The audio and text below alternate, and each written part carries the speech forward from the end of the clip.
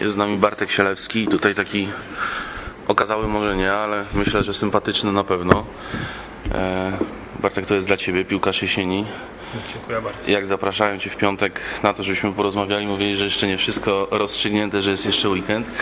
Przez ten weekend niewiele się zmieniło. E, Bartek Sielewski 48%. E, Według kibiców zostałeś uznany piłkarzem jesieni. Tak więc to dla Ciebie. Gratulacje. Dziękuję bardzo.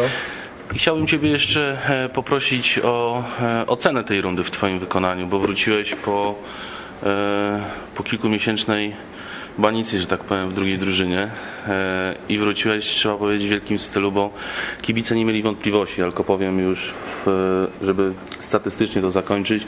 E, Drugie miejsce za- zajął Jacek Góralski 34%, e, trzecie miejsce Marcin Krzywicki m, 19%, więc ta przewaga dosyć duża, bo blisko, blisko połowa kibiców właśnie Ciebie uznała piłkarzem jesieni. Czy Ty jesteś zadowolony z tej jesieni w Wiśle Płock?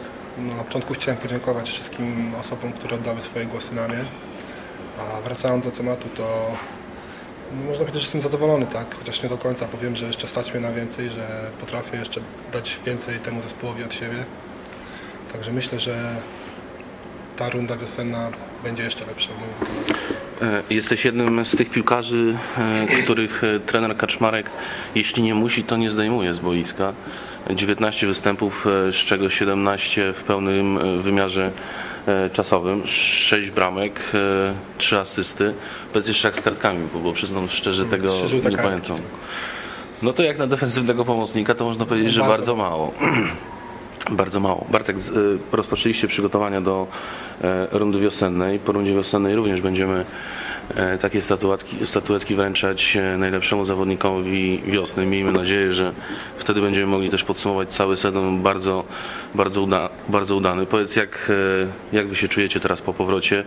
Czy już e, częściej może rozmawiacie o sytuacji w tabeli niż to było na początku rundy jesiennej? Nie, tak naprawdę jeszcze o sytuacji w tabeli w ogóle nie rozmawiamy. Tak, każdy chce się jak najlepiej przygotować. E, Skupia się właśnie na tym, żeby cały ten okres przepracować solidnie, bez żadnej kontuzji, bez żadnego urazu.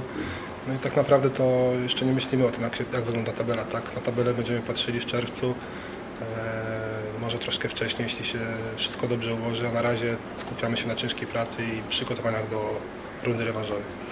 E, Chciałbym się cofnąć o kilka miesięcy, bo e, tak jak wspomnieliśmy na początku, miałeś taki okres po swoim powrocie do Płocka.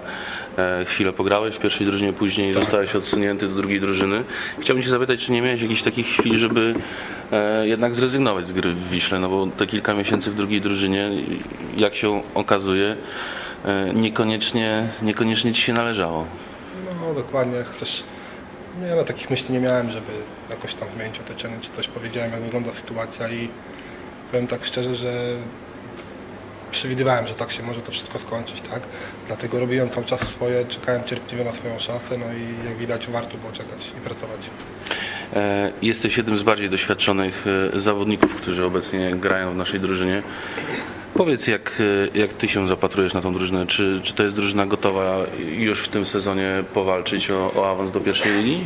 No na pewno jest gotowa drużyna, żeby powalczyć o ten awans, e, jednakże też nie, ma, nie można być za pewnym siebie, tak? Trzeba cały czas ciężko pracować i podchodzić do każdego meczu w pełni skoncentrowanym i myśleć tylko o danym meczu, nie o, nie o awansie czy o czymś po prostu dalej, tak?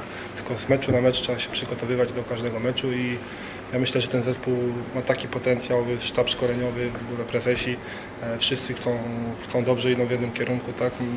Wszyscy ciągną wózek w jedną stronę, także myślę, że, że powinno być dobrze. Oby ten wózek nam się długo nie zatrzymywał. E, Chciałbym jeszcze Cię zapytać o takie mm, może tajemnice e, szatni, bądź chociaż to co, to, co możesz zdradzić. W środku grasz z Jackiem Góralskim. E, Jak trener rozdziela między Wami zadania w środku pola? Który bardziej jest odpowiedzialny za defensywę, e, a który bardziej za, za kreowanie gry? No tak, myślę, że to jest tak na równo, tak? Wiadomo, Jacek jest troszkę innym typem zawodnika, e, jest mniejszy, bardziej zwinny i ma bardzo dużo odbiorów, tak? I jest bardzo pożyteczny w swojej grze. Ja troszkę mam troszkę zaciągi do, do gry takiej ofensywnej. E, Udaje mi się w tych sytuacjach jakoś się znajdować, dlatego zawsze jakoś tak się dogaduję z Jackiem i żeby Jacek troszkę trzyma bardziej tył, a ja jeśli jest możliwość troszkę się podłączyć. Ćwiczy, ćwiczysz e, w trakcie, po treningach e, uderzenia z dystansu, bo masz, masz ten młotek w nodze i mam wrażenie, że troszeczkę rzadko go wykorzystujesz jak na, na tą siłę. No dokładnie, dokładnie, może troszkę właśnie za mało to wykorzystuję, bo czasami trochę za bardzo, za dobrze chcemy, tak, bo chcielibyśmy super zawsze akcję rozegrać od boku, wrzutka, żeby jakoś to fajnie wyglądało, czasami właśnie tak jak mówisz, wystarczy dobrze uderzyć piłkę i dać szansę bramkarzowi, żeby się wykazał.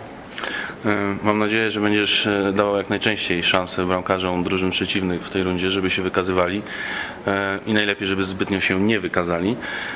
Póki co jeszcze raz gratuluję piłkarza jesieni Wisły Płock i życzę udanych przygotowań, przede wszystkim zdrowych, bez, bez kontuzji i jak najlepszych spotkań na wiosnę. Dzięki wielkie.